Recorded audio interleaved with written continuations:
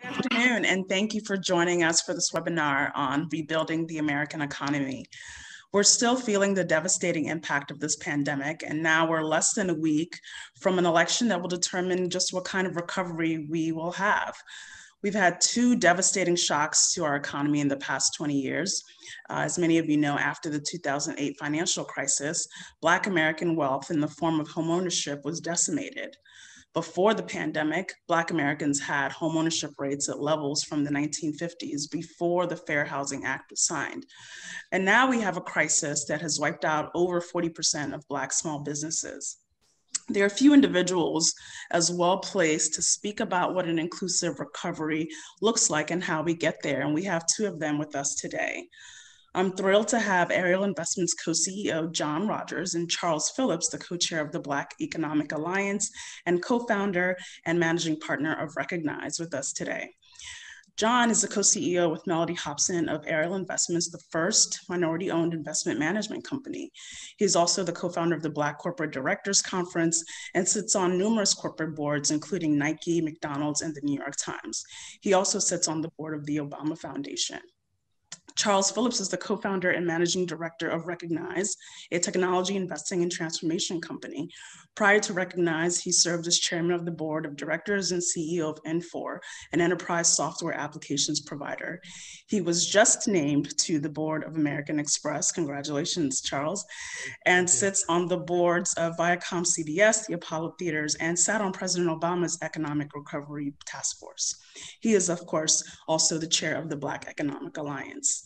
Thanks to both of you for joining us this afternoon. Glad to. Before we dive into questions, I just want to remind the audience that you can use the Q&A function at any time to ask questions. And we'll uh, start off with a couple of questions and then go to Q&A. I want to just start by asking both of you if you are optimistic about whether or not we are at an inflection point, and if you are optimistic, what is making you hopeful? And uh, John, I'll start with you. Okay, well, thank you. I'm having a couple of things that are making me more optimistic than normal. Um, in this tragic time of uh, after George Floyd's murder and the challenges that we face in this country, um, doors are opening up for African American entrepreneurs and business leaders in ways that I've never actually seen before in my 37 year career at, at Ariel. I've been getting inbound calls from CEOs of public companies, CEOs of large family owned businesses saying, can you help us think through how we can get more diverse, how we can work with minority owned firms, how we can have uh, uh, minority executives in our leadership roles. You know, people are just calling out of the blue to get advice. Uh, they're also calling Mellody Hobson for similar advice. Um, they're calling with also with rec- wanting recommendations for corporate boards, and that's been kind of a big deal. And so it's just I'm optimistic that the corporate world is moving in the right direction. Uh, they're feeling the pressure, they're feeling the need. And then secondly, I would say with the most progressive Congress we've ever had in the country's history, when you have a Maxine Waters as chair of the finance um, uh, Financial Services Committee of the House and Joyce Beatty, the head of the Diversity and Inclusion Committee, they're pushing large banks and financial institutions to do the right thing. Um, Congressman Cleaver and, and Congressman Kennedy sent letters to all the top 25 uh, endowments in the country, university endowments, pressuring them and reminding them, them that they have a responsibility to work with Black businesses in everything they do, especially with the tax breaks and benefits they get from a government. So this leadership in Congress, I think, is going to be a really big tailwind for all of us as we create, try to get opportunities, whether it's in the nonprofit world or in the corporate world. Thank you. And Charles, are you feeling optimistic? And if so, why? I would say yes, I am. And uh, the conversation, to John's point, seemed more sustainable. Like this time, it's not just a 30 day conversation, we're on to the next news cycle. And it feels different. I'm doing everything I can to make sure that it's not just a 30 day news cycle for sure, but uh, the fact that so many people calling, asking for a list of next generation board members who are black that they can start to you know interview people on. Several of us got together and put together a list of 100 executives and gave it to them. Recruiters are calling us, boards are calling us. Uh, I had a call with a group of the largest uh, venture capitalists in the world, and same thing. We haven't been investing in uh, companies led by you know black entrepreneurs, but we're not connected to them. How can we change that? So we have some plans working on that. We can talk about. And then I was just having breakfast this morning with a couple CEOs, and they were saying my employees are forcing me to talk about that. I said nothing when George Floyd came out, and there was an uproar, and they wanted to know what I thought, and they wanted me to take a position. So it dawned on me I can no longer ignore this, even for my own employees. That if I want to attract the best people, you have to have some values and express some purpose. And so I just think it's permeating in a way that is unusual. You saw the head of the Yale Endowment came out, I think, two days ago and said he's looking for my more diverse managers. They never talked about that a year ago. So I'm hoping these all these conversations, people are putting themselves on the hook, and that it will be hard to walk it back. That once you've been out there so publicly. And so this is all good for us. And uh, if you look at kind of the state of the economy, yeah, it's not great now, but the cost of capital is low, but there's lots of capital available if we can get our fair share of it, uh, there's some hope for changing things dramatically, hopefully. That's great. I mean, you both sit on a number of corporate boards that have enormous influence over the economy, in particular in financial services. Um, you know, Business Journal just released a report showing that the four largest banks um, have just made have made 91% fewer uh, 7A loans to Black businesses in 2019 than in 2007 before the financial crisis. And similarly, the Small Business Administration has made uh, 84% less loans to Black businesses. So, talk a little little bit about, you know, the role that the private sector can play in changing some of these stats, especially when it comes to access to capital for Black businesses? Well, thank you. Uh, you know, I think that, of course, we need access to capital, and the data that you've talked about is very, very disturbing. But one of the things that I talked to Reverend Jackson and Reverend Sharpton a lot about is as, as important as access to capital is, it's equally important to have access to customers. Mm. So, as you mentioned, I serve on the board of McDonald's. If you look at the Black Enterprise list of top 100 companies, five of the top suppliers, uh, five, five of the top 20 suppliers in that list are McDonald's suppliers.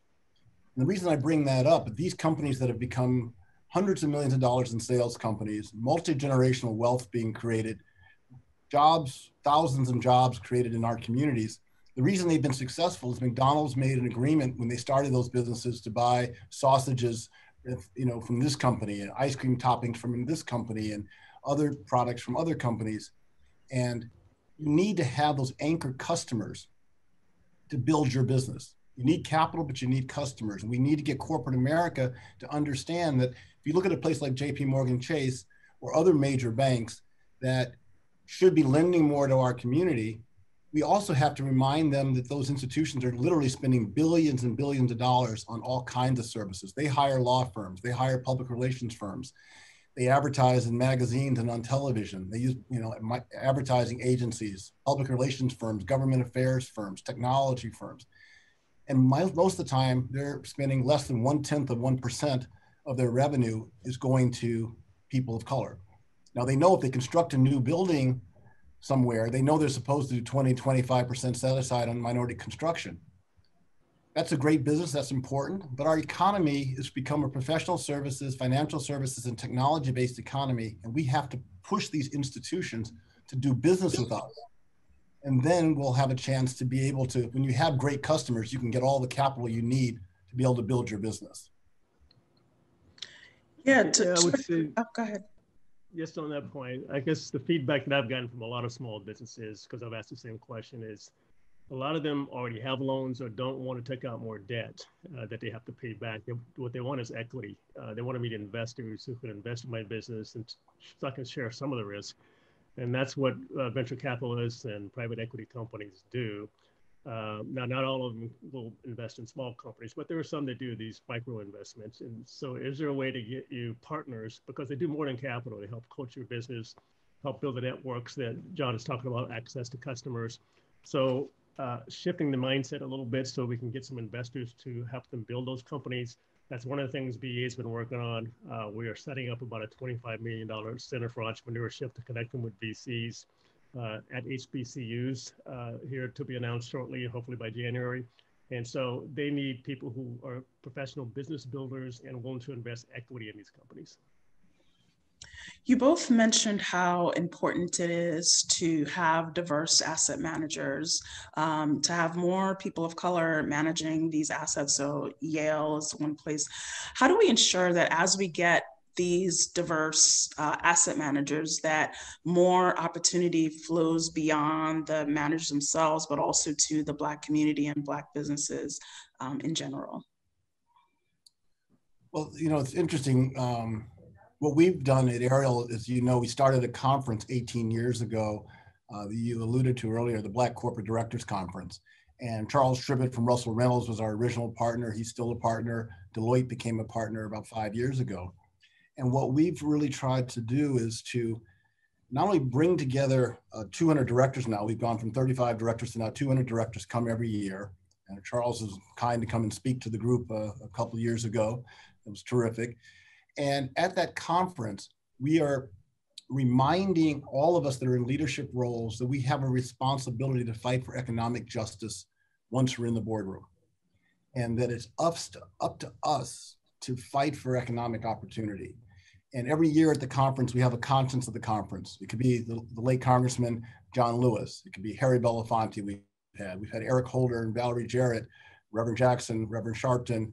Um, you go down the list, uh, former Ambassador Andy Young, to just remind people that people lost their lives. People fought so hard to get these doors open for us in these leadership roles.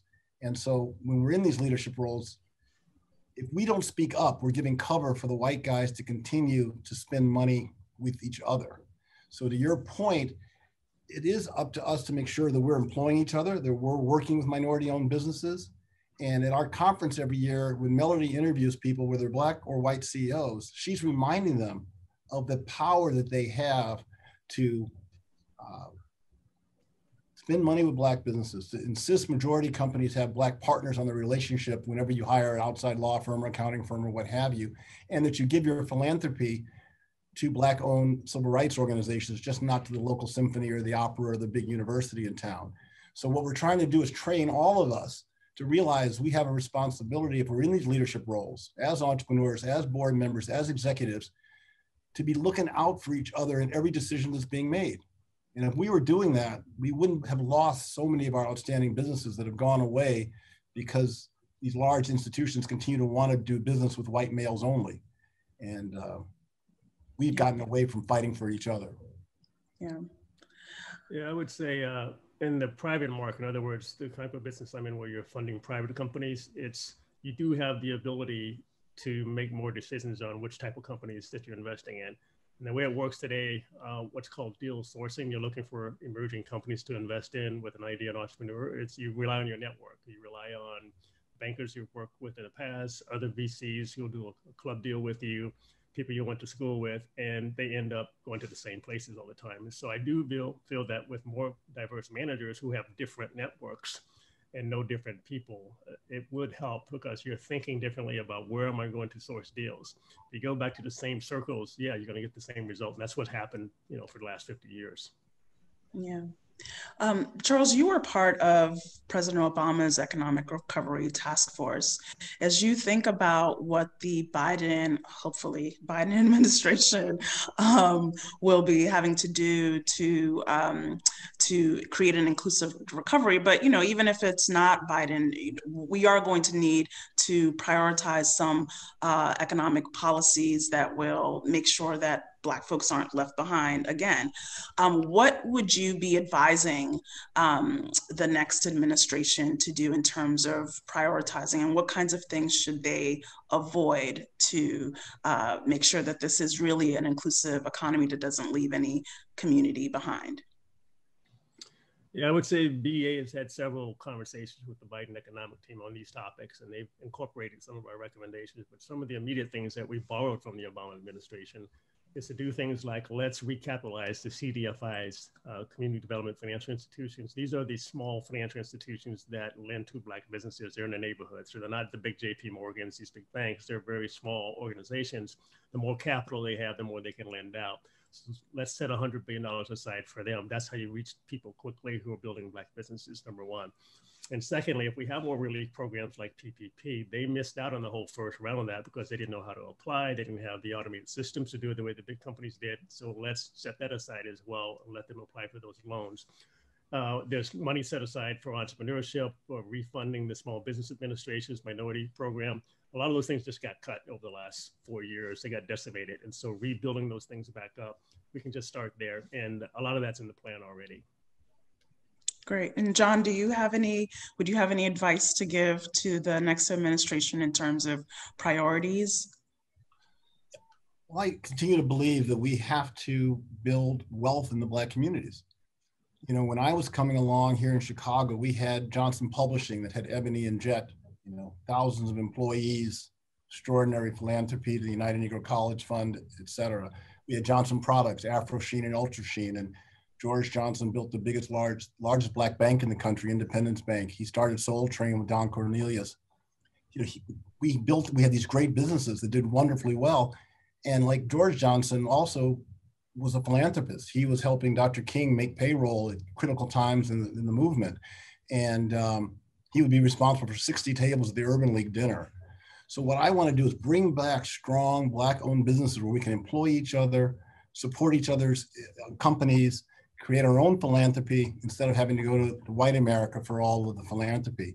And to do that, we have to again, follow in the footsteps of what Harold Washington and Maynard Jackson and, and Coleman Young did. They always insisted that whenever people came to town, wherever they were, that they had to work with black entrepreneurs.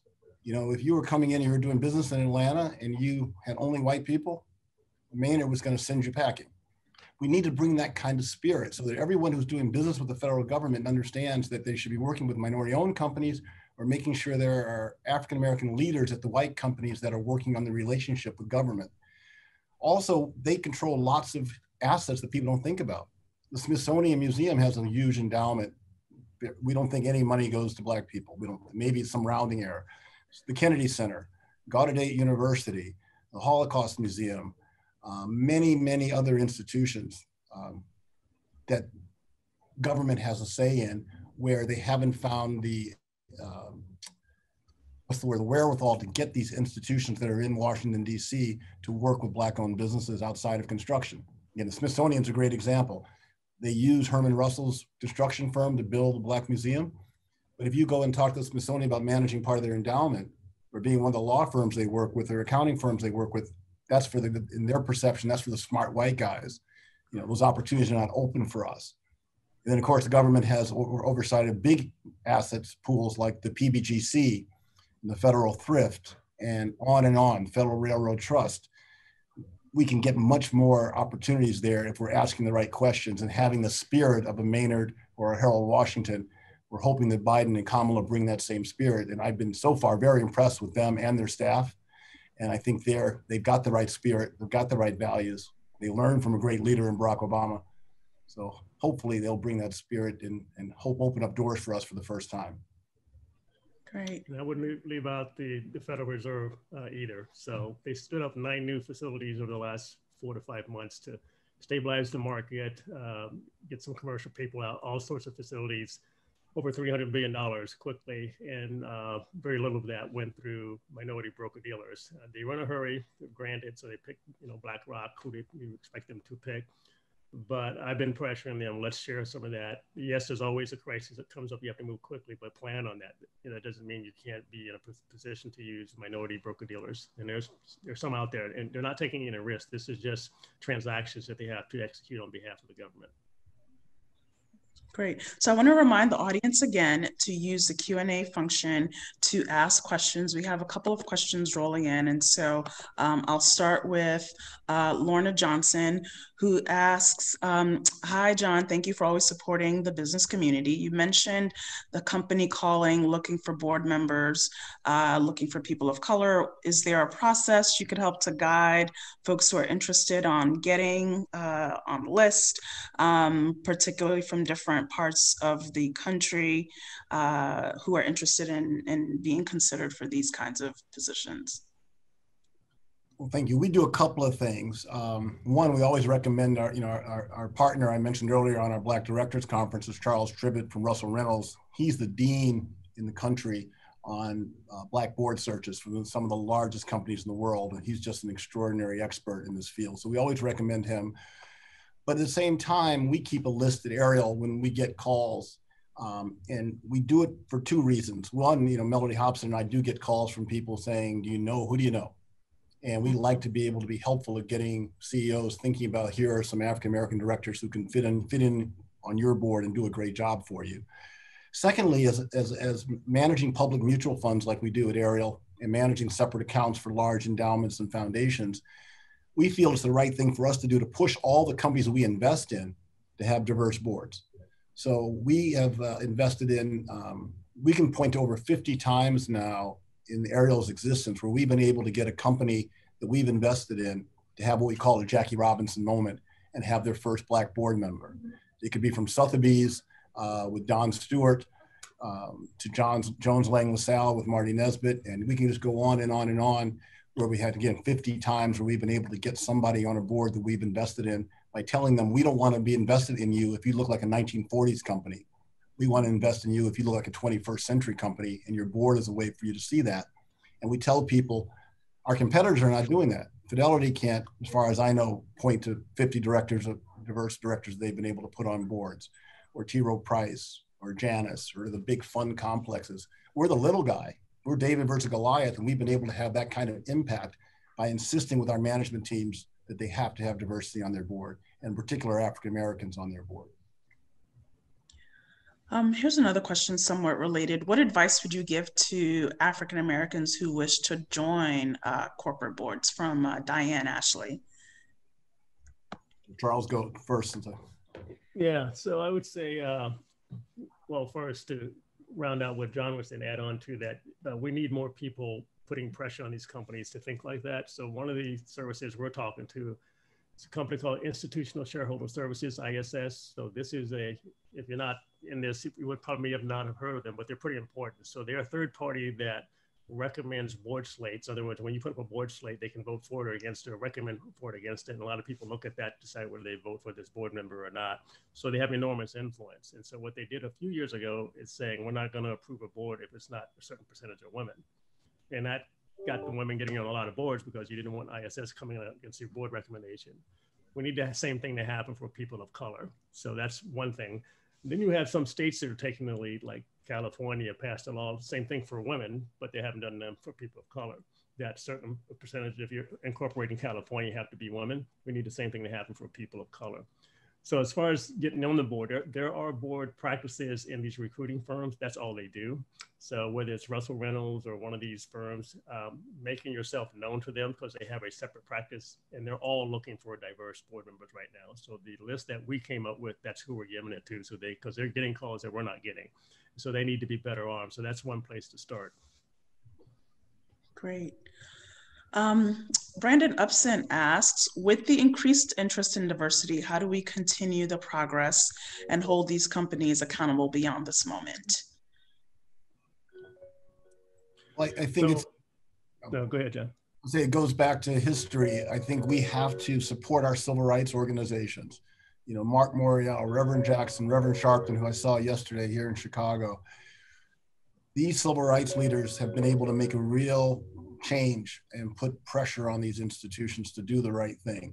Um, I think we have to support. We don't give enough money to our civil rights organizations. We don't show up enough at Push on Saturday mornings or to their conferences during the summer. We've got to support our civil rights leaders. Secondly, again, I mentioned our progressive political leaders. As Congress is the most progressive Congress we've seen in history, we have to get, you know, write the checks, show up at their rallies, because the more Joyce Beatty's and Maxine Waters and uh, leaders like that, it makes all the difference in the world in getting holding people accountable on these very, very important issues. And if, if we um, don't have those progressive leaders in place, we're not going to be able to hold people accountable. But when you have them, and now is when you when you are in power, like the Democrats are now in the House, you have subpoena power, and you can hold these companies, hold their feet to the fire, and push them to do the right things. So political empowerment, civil rights empowerment will what will, is what's needed to hold these institutions accountable to the promises and commitments they've made to our, commu- our community and too often have not lived up to the values they say they care about. I think we can do a lot with transparency and that most companies today don't disclose their uh, racial makeup. A few companies do, they put it on their website. And so I think the rule having just forcing disclosure in a proxy or in an annual report, uh, people start to resolve things when they're getting measured and it's public. And some companies like PayPal started doing this five years ago and they said, we're not where we want to be. Here's where we are. We're going to change it, hold us accountable. And they did it. So I, I think just transparency can do a lot because people don't want to be embarrassed amongst the peers and in the public. Charles, you are you just started a technology company. You've run a technology company, and I know that you think a lot about how Black uh, communities are being left behind by the wealth that's being created in technology. What are some of the things that we can be doing from a public policy point of view, but also that the private sector, technology companies themselves, can be doing to ensure that as we are entering this new phase of you know the future of work which is here with folks working from home and all of the technology that changes that's bringing um, how do we ensure that black communities are part of the wealth that's being created in this new innovation economy yeah this technology displacement is a real risk especially for black people getting displaced uh, something like 43% of the tasks that we uh, we uh, execute today in the top 800 occupations could be replaced by technology that exists today, and it's only going to get better. So if we don't get out of some of these low wage manual jobs, we're going to be on the front lines of getting displaced. So a couple of things we could be doing is one, uh, the 18 billion we spend a year on job training at the federal level, it's usually not that effective. It is not directed that much in our communities. But more importantly, it's the wrong skill sets not connected to companies. I would shift that into more public-private training. So the companies are training exactly the type of skills that they need and make that more entrepreneurial. That's one thing we could do. And then secondly, uh, as we we need to change the way we think about college and skills. A lot of these jobs don't require a college degree, and that actually keeps us out of a lot of jobs because we, you know, just have a, lower rate of graduation. A lot of these are jobs that need eight to 10 weeks of training. And so the one of the programs we're working on at BEA is talking to about 30 companies to commit to training or hiring from a workforce development program for jobs that don't require those degrees, that need eight to 10 weeks, and let's not over credentialize these jobs with college degrees. So, so that's another thing that we can do. So we just got to think creatively about how to get people the right skill sets as quickly as possible. Uh, Marcus Glover asks, is there space for new products and services targeted at Black communities that seek to directly reduce areas of racial inequality in health, wealth, and education?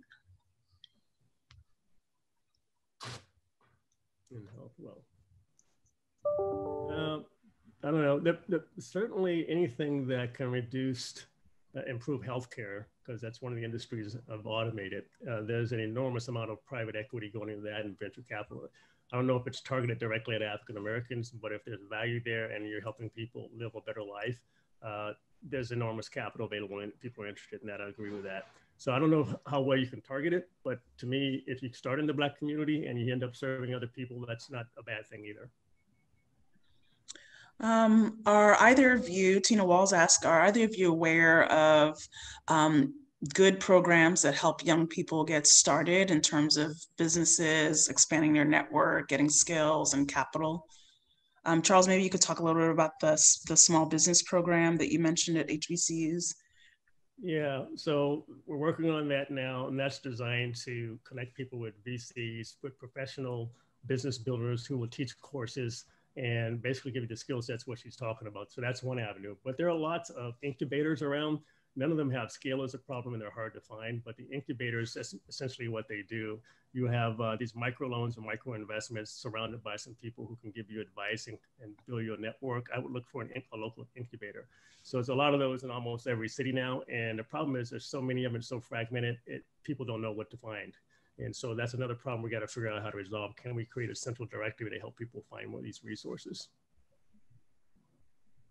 Okay, so EJ Scott asks, um, what is the best way to ensure that Black people are not left out um, when we basically lump people together as people of color. Um, so basically, how do we ensure that the, the, the unique needs of Black folks are met um, and are not sort of erased by being lumped together with underserved communities or minorities?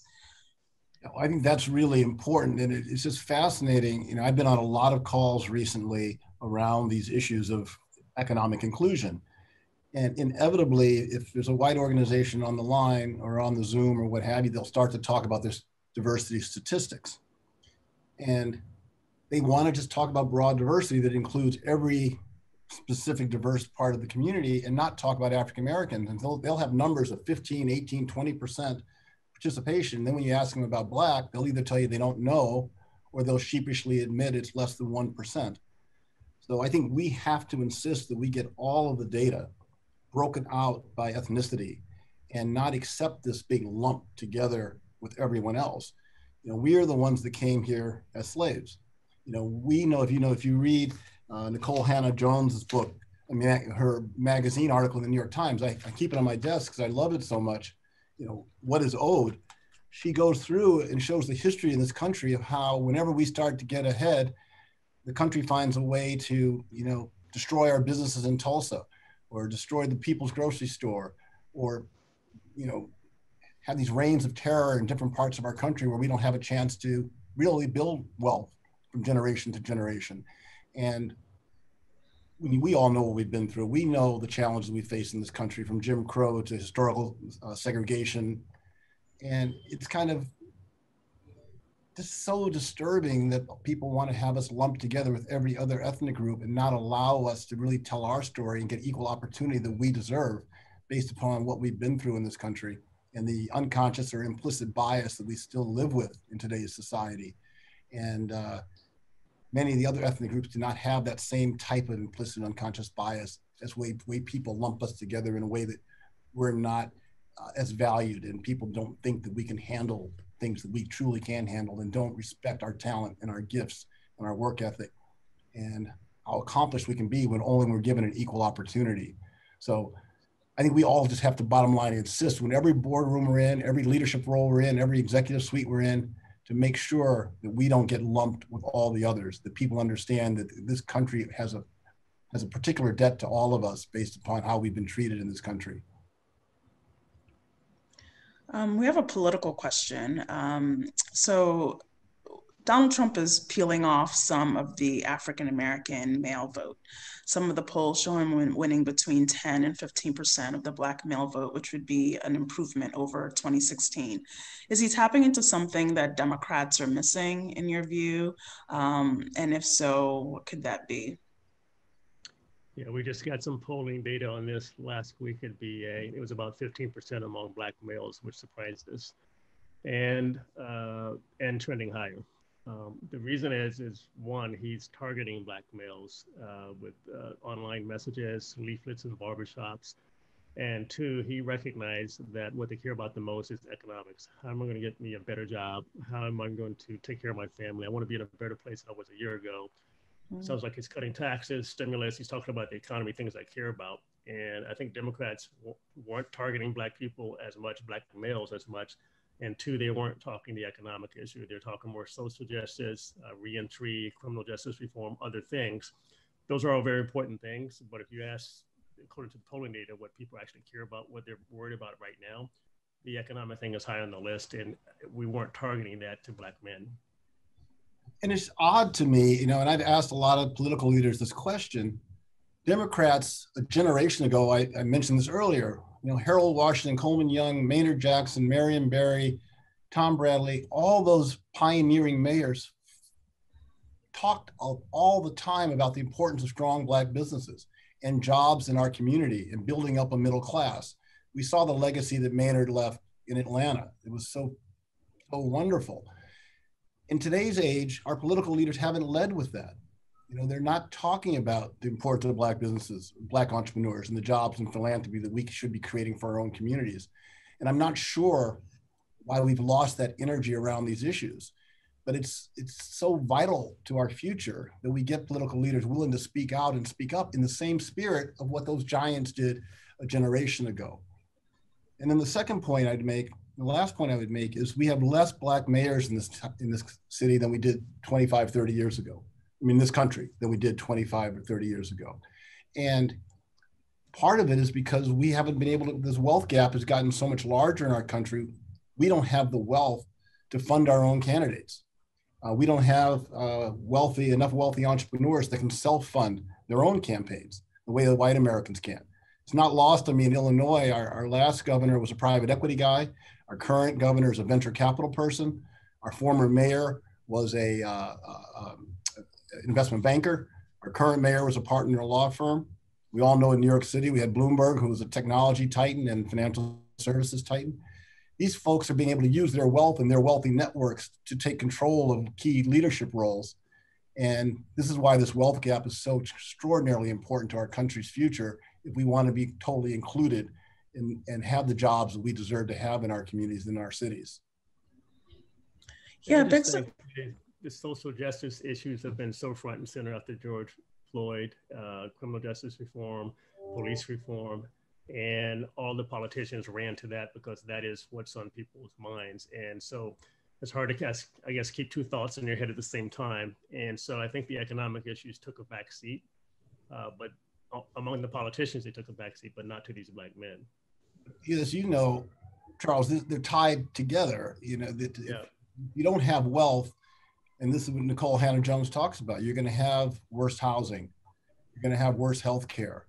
You're going to be, you know, in communities where you're going to run into the criminal justice system. Um, again, poorer educations. All the challenges that we face in urban communities are all directly tied to wealth. And if we don't create wealth and jobs in our community, then you're going to be susceptible to all of these horrific challenges that we face in urban communities in this country. And I think for some reason we haven't connected the dots the way white Americans do. They understand that all the great things in a community come from building jobs and wealth in those communities. And if you don't have wealth and jobs, you're going to be susceptible to all these challenges. And it's just going to get worse and worse as the wealth gap grows larger and larger. Yeah, both of you are, you know, obviously extremely successful in the business world, but you're also very much involved in politics and civic engagement. And so I was, you know, I'm curious how you see the connection along the lines of what you're talking about and what you would recommend for folks uh, actually from a policy point of view to both boost um, financial literacy in the black community but also civic literacy and civic engagement in the black community well, I mean, I'll start on financial literacy because we've been working on this for a long, long time. Um, many of you know we started a small public school in Chicago called the Ariel Community Academy. It's a public school, not a charter school, all union teachers. Uh, after now almost 25 years, it's about 500 African American students, and we teach the kids about the stock market. So every first grade class gets a $20,000 class gift. They watch us manage it for the first six years through Ariel Mutual Funds and then in sixth, seventh, and eighth grade, the kids start to uh, buy real stocks with real money, uh, which is what my dad did for me when I was coming along after I was age 12. And it's been phenomenally successful. Many of the kids have worked here at Ariel as interns or full time jobs. Many of them have gone into the financial services industry because not only did they learn about how to pick stocks and how to do research, they learned about this whole investment management world that most of the kids never thought about. Um, maybe they knew about banking, et cetera, but they didn't know about you know, long only money management or venture capital or private equity or what have you. So the Ariel Community Academy has been a great success. Uh, former Secretary of uh, Education Arne Duncan started the school while I was uh, while he was working at Ariel, and uh, during the Obama administration, I chaired his uh, task force on financial literacy for about six years. And the recommendation we gave to the president at the end was that we wanted the White House to use its bully pulpit to get more financial institutions and corporations to partner with urban public schools and teach financial literacy. And then finally, you know, we've done things you would imagine with the school. We, you know, we we bring in celebrities to meet with the students, from Magic Johnson to George Lucas. But we also uh, every year for a while, when Don Thompson was the CEO of McDonald's, we would take uh, 40 kids or so to the McDonald's annual meeting, and one of them would get to ask, ask a question at a real annual meeting and see Don Thompson preside. And then afterwards, Don and his wife Liz and the chairman of the board, Andy McKenna, would spend an hour with the young people. Um, and Andy and uh, Don would tell them how he got to be the CEO of McDonald's and be an inspiration for these young people. So I think the number one goal, I think, is to get public schools to do their part with financial literacy and get large corporations and financial services institutions to partner with those urban public schools. And I think you can really make a difference uh, around this important issue. Yeah, I would say uh, on the jobs project uh, project that I mentioned a few minutes ago, where we're trying to get 1 million black jobs created over the next year by working with about 35 large companies and all these workforce development programs. One thing that we found is is when you find people and they haven't been in the corporate world, the financial literacy is an issue. So as part of the training, we're adding that component, what we call wraparound services. Some need that, some need childcare, some need many other things, and getting them ready to be in the corporate environment. So I think if as we get people around uh, financial services and corporations in general and give them those skill sets and do it at scale, then they start to evolve over time. So I think it's possible. So a lot of people will learn it that way. And then the second thing on the civic engagement, um, I think people are pretty motivated right now, and that's why the, you know the voting is increasing, and Black people are paying attention to it and voting in record numbers. What we lack is uh, a specific ask. It's okay to talk about social justice, and I'm upset, but what do I want you to do? So that's what BEA that you were instrumental in helping start that's what we're trying to do is document the things that uh, this, this is how the system works. Here's, here's where the money is. Here are the programs that are available.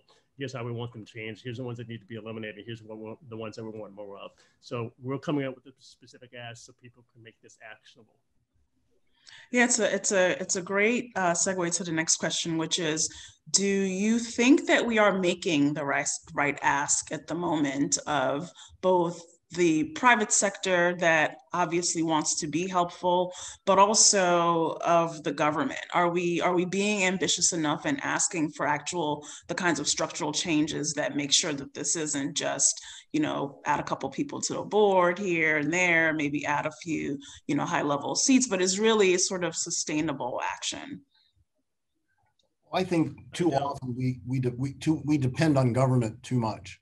And I think we're used to asking government to help, and government's used to helping. And uh, I see that you know most corp, most major cities are doing the right things when it comes to working with minority businesses and and asking the right questions and challenging us.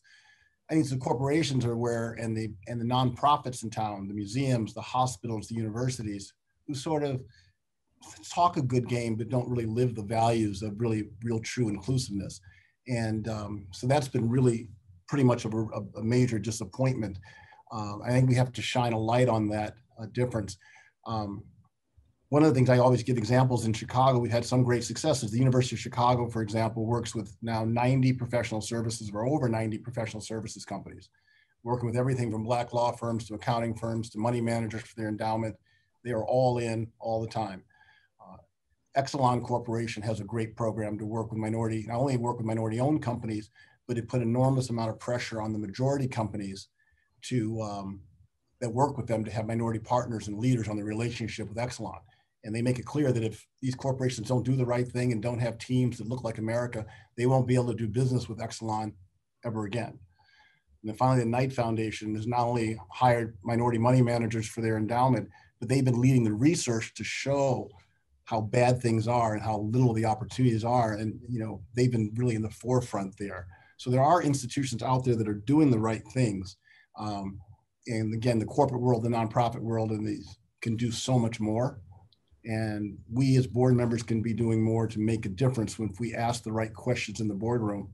And they start, they will, they'll move in this environment.